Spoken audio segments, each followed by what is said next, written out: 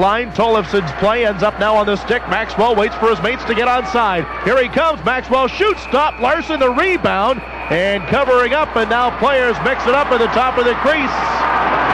As Maxwell is upset, wants to get a hold here, and Tollefson rips off his helmet.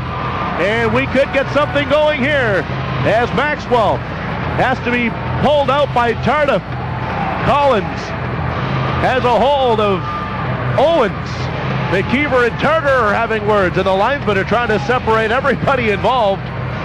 They've got most of the players dislodged. Tollefson's really upset right now with Tommy Maxwell. And the linesmen are able to actually defuse the situation with 90 seconds to play in the second period. We have a number of players wanting to get at a number of other players. It's just everybody has a hold of the people they don't want to get a hold of. So we got a lot of guys being held back from other guys, but everybody wants a piece of somebody, just not the dance partner they have right now.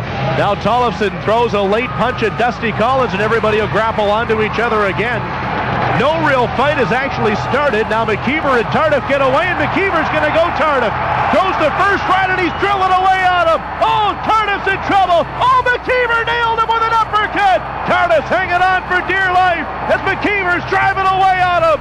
Now Tardif gets in tight, tried to answer back with a left. He missed, they grapple on, and they'll continue to go. The rivalry is alive here, and now Tardif catches McIver with an uppercut, and they go crashing to the ice right in front of the Moose bench. It took a while for somebody to take center stage. They did, and McIver wins.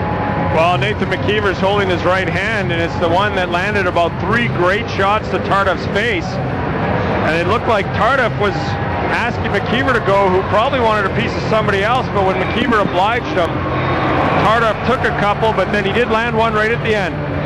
130 to play in the second period. We'll take our final break. Manitoba still down one goal. It's 3-2 Grand Rapids. This is Friday night American Hockey League play on the CJOB Moose Radio Network.